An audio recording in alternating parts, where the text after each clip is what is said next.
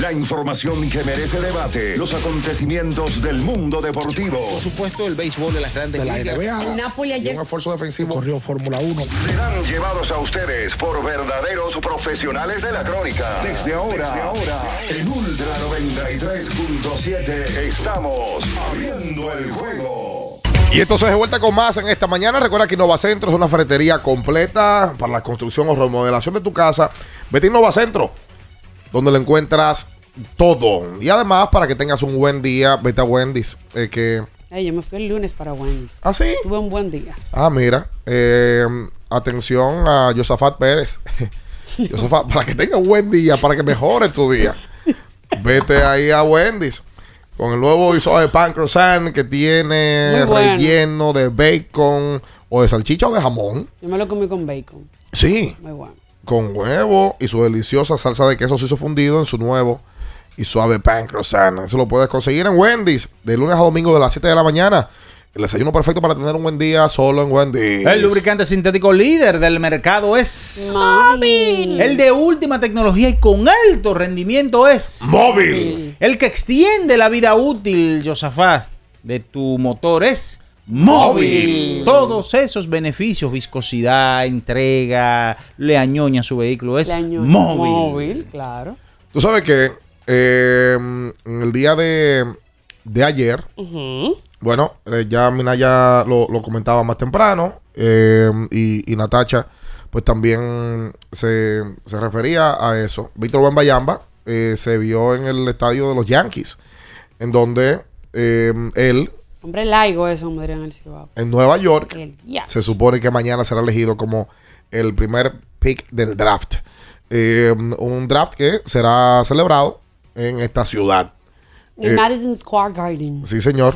Eh, la, la realidad es que la expectativa con, con el draft,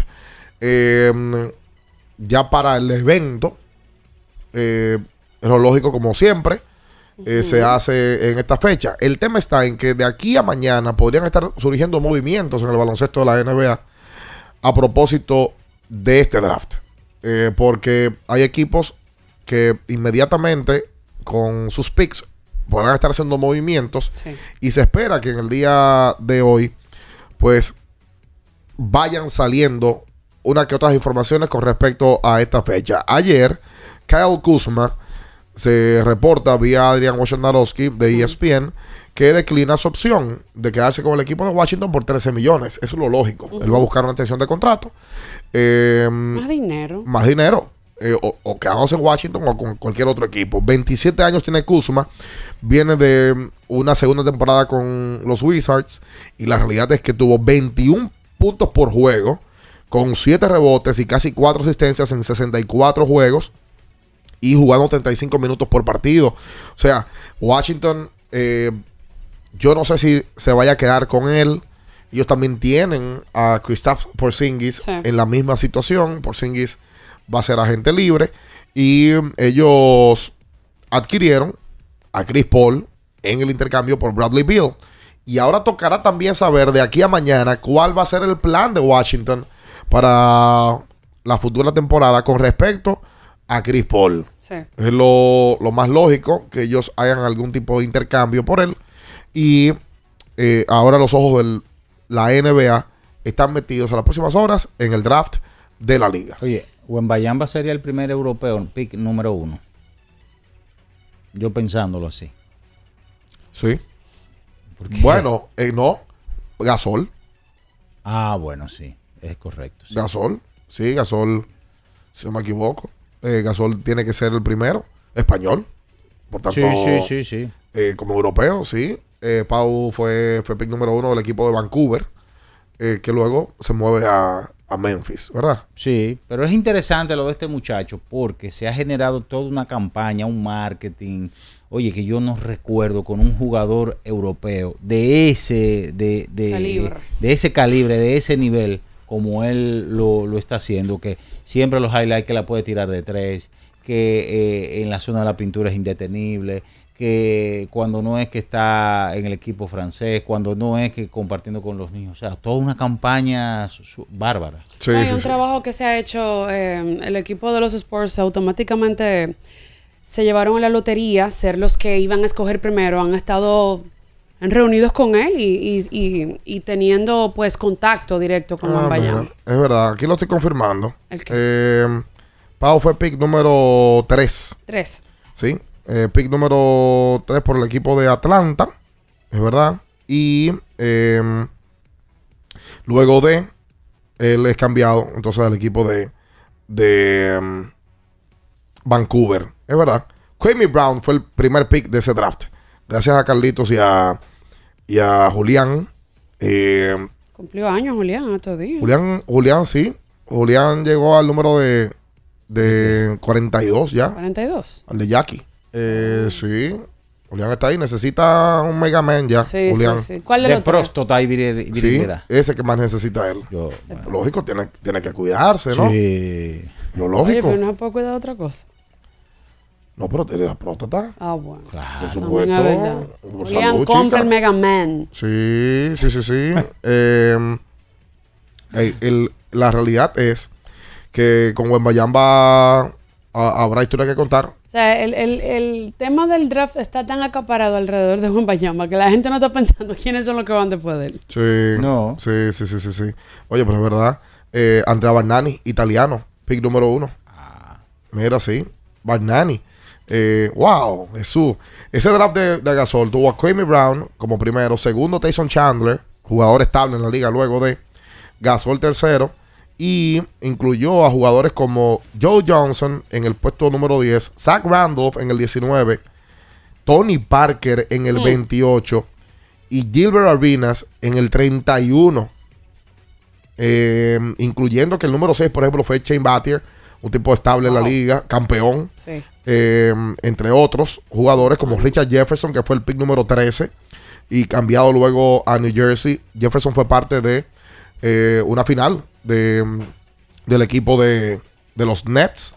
Eh, mira qué pasa, es que la NBA es, es muy fuerte. Ah, y Gerald Wallace, un tipo que fue también picante en la liga y fue un juego de estrellas. Gerald Wallace, eh, jugando para el conjunto de Charlotte, si no me, si no me equivoco. Eh, Darko Milicic, me dicen aquí. Darko, no, Darko es el draft de, de LeBron, eh, donde LeBron fue el pick número uno.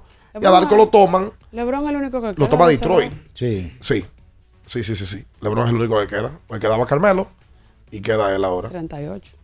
Sí, sí, claro. Y, y le estamos exigiendo todavía que sea competitivo. Una cosa increíble. No, no, no. eh, lo de. Wow. Sí, nosotros como que no nos cansamos de, exigirle no, no, no, al tiempo, ¿verdad? Al Wow. señor tiempo, el que no falla, el que no para. Em, para hacer la pausa y ya venir con, con todos, se nos quedaba ahorita decir que Cincinnati ganó su décimo partido en forma consecutiva Yes. en el día de ayer y que Eli de la Cruz la sacó. Em, Eli da un tablazo por la banda contraria, bárbaro, en ese juego. ¿Sabes quién también la sacó? Jorge Alfaro. Sí. Y Alfaro se hace el último out. De tres, creo que fue de tres De cuadrangulares. tres carreras, sí, el Alfaro. Con Y los entonces- Rockies. Sí, señor. En un partido que ganó Cincinnati, en su casa, ante los Rockies. Un Cincinnati que, repetimos, 10 juegos consecutivos ganados. Liderando su división. Una división que no es tan difícil de liderar eh, por, por el desastre que hay internamente Ah, ahí. Los Cardenales es una cosa seria. Eh, y ayer, eh, Milwaukee también gana. Los cachorros ganaron. Se mantienen a medio y tres juegos y medio cada uno. Cincinnati, compadre. El querido Cincy. El querido Cincy. Así mismo Tiene es. mucho que nos llama el querido Cincy. Sí. No, él llamó ayer. Él llamó ayer. Ah, es que él nos llama cuando yo vengo. Bueno, eh, Queen, ¿qué fue lo que yo te hice a ti? espera. Wow. qué No le digas difícil. eso. Después, él ayer me dijo que, que, que- que recordara que, ¿Que recordar a qué? que no, que va a venir, porque tú sabes. que- No, no, Queen, no, llama. Bueno, si tú- pero puede venir, Queen, cuando venga Natacha. Natacha siempre tiene 500 y 1000 pesos en los bolsillos para regalárselo a todo el que la no- saluda. yo nunca tengo dinero. Esa es la, la- la realidad. No te dejes, no te dejes engañar. Ah, mira, y ayer me escribía alguien para eh, dejarnos saber que por favor hablemos de Arizona. Ayer perdieron los D-backs, pero hoy ese equipo marcha en el primer puesto. Eh, la realidad es que han tenido una gran ofensiva. Que Tel Marte ayer la sacó. Sí. Jorrón de tres carreras en el encuentro. eh, que perdieron. ante los cerveceros. La realidad es que eh, Arizona va muy bien. Está buena esa Oye, división. tenemos, porque tenemos ahora- varias sorpresas, historias que han llenado grandes expectativas que pudieran hacer guion de novelas o- Oye, o, de películas. Gerardo Perdomo ayer se fue en blanco, pero Perdomo al día de hoy, primer bate del equipo de los de los D-backs, en 59 partidos, 2.93 de promedio de bateo, 5 jonrones, porcentaje ¿sabes de cuánto? Que eso es lo que más me impresiona a mí de él. De 400. Oye, batea, aquí lo hizo con las águilas. Sí. Aquí lo hizo con las águilas, dio unas líneas bien contundentes aquí en momentos apremiantes. No, y, y- y- Siendo primer bate aquí con las águilas por y momento. un gran porcentaje de envasarse, 400, por un tipo Sí. que, oye, que no, no, uno no habla mucho de eso. Ese muchacho, la temporada en el 21 tomó 37 apariciones, 500 apariciones en el 22 y en el 23 lleva 211. O sea, el calladito pasó de 195 el año pasado a 293 ahora y 285 porcentaje de envasarse a 400. O sea, yo La más de la mitad en todos los números. y vino y jugó con las águilas, se comprometió y mírenlo ahí, lleva una buena temporada, Gerardo Perdomo. Ojalá que lo puedan llevar al juego de estrellas. No sé si Arizona, yo creo que Ketel está por encima de él, si toca tomar a uno. Eh, Carroll también está ahí como, está- como titular. Como titular.